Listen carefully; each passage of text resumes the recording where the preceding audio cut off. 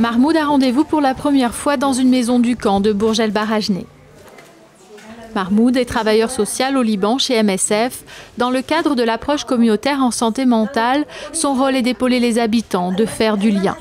Trouver des solutions pour leurs soucis du quotidien en les mettant en relation avec les équipes médicales et les associations locales. Ce matin, Mahmoud écoute Fatima, 60 ans. Elle ne peut pas sortir de la maison en raison de son handicap. Elle se sent isolée. Fatima vit dans cet espace de quelques mètres carrés avec ses trois sœurs. Sa mère est morte il y a quelques jours. So we'll uh, do this visit just to uh, have information about this patient and, and, in order to reach her to come to our uh, and benefit from our services. Le rendez-vous est pris pour Fatima. Elle va bientôt pouvoir discuter avec les équipes de psychologues. MSF a renforcé ses capacités pour être plus à l'écoute des besoins spécifiques de chacun des habitants du camp.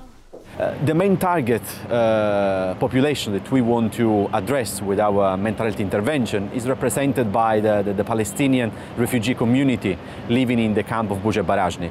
This is mostly due to the fact that um, Buja Barajni is one of the most crowded and uh, deprived Palestinian camps in, uh, in Lebanon by hosting a population of roughly 18,000 people in less than, in less than um, one square kilometer. Restaurer la capacité à faire face au traumatisme et au stress du quotidien.